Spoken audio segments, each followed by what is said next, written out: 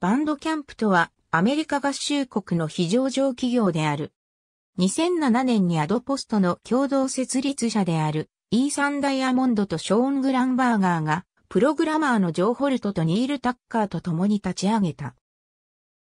2008年に音楽のダウンロード販売を開始しており、インディーズアーティストを中心に宣伝プラットフォームを提供している。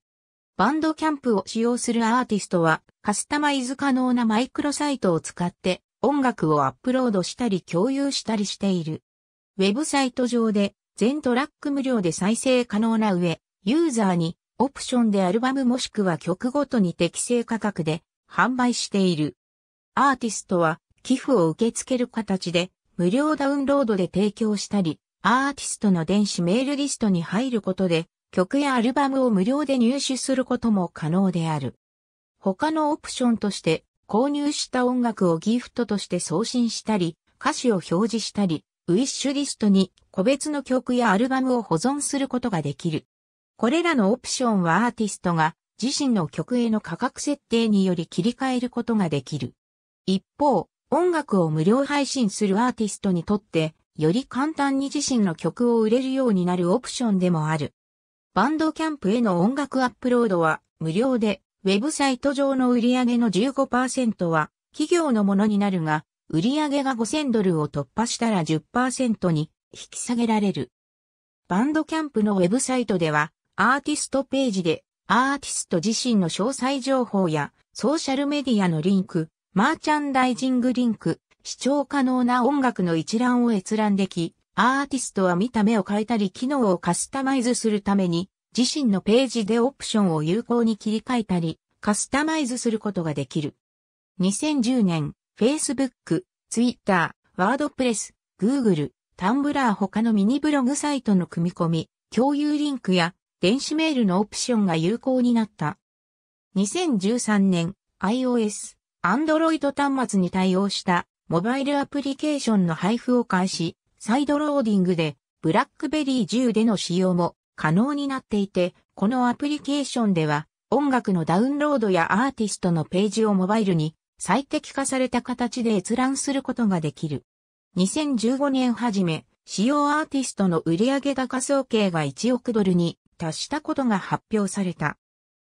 アーティストへ対価を払わずに著作権のある音楽をファイル共有サイトや無料配布サイトからダウンロードする人が後を絶たないが、バンドキャンプのようなサイトではユーザーに無料ストリーミングコンテンツを提供していて、アーティストには無料を含めた自由な価格設定を提供することで、潜在的なユーザーにより多くの選択肢を提供することができる。無料コンテンツと柔軟な価格設定のバランスを取ることができる。この柔軟性でアーティストに著作権侵害への対抗手段になる代替手段的なデジタル配信を提供することができる。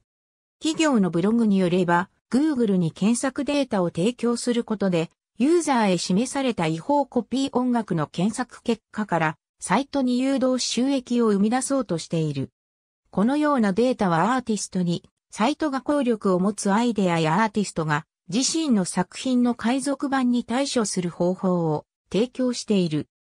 2010年にアマンダ・パルマー、ロープレイセズ、ベッドヘッドがアルバムの販売を自身のレコードレーベルからバンドキャンプに切り替えツイッターで宣伝を行ったことからバンドキャンプへの注目が集まった。また2011年には Aquaria、 Bastion、 Sanctum、 Machinarium、 Terraria、 Plants VS Zombies、 Limbo、 Super Meat Boy、 To the Moon、 Fez、 Minecraft、 Sleepless Night の開発者など、複数のインディーゲーム開発者が自身のゲームのサウンドトラックをバンドキャンプで公開したことでバンドキャンプの人気が高まった。2014年12月、 Bandcamp for Labels がスタート、 Sub Pop、 Fat Wreck Chords、 Epitaph Records といった人気インディーレーベルがバンドキャンプにページを開設した。ありがとうございます。